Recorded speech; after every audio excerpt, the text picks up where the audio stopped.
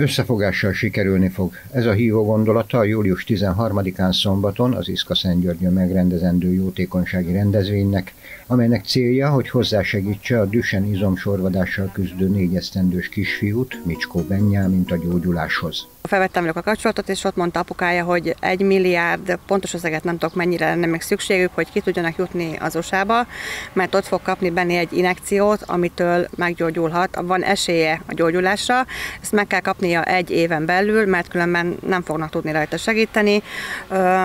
Hát úgy néz ki, hogy talán, talán van remény, de nagyon-nagyon sok pénz kell még, még mindig sok pénz kell.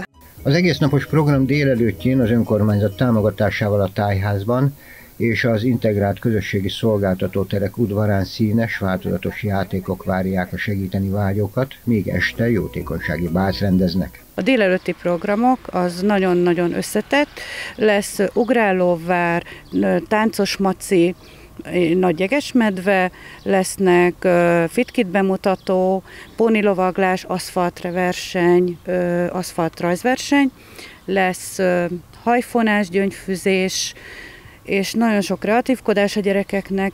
A programok természetesen ingyenesek, de a résztvevők minden helyszínen adhatnak adományokat Benni gyógyulásáért, hiszen ahogy a felhívás is hirdeti, hol legnagyobb a baj, legközelebb a segítség.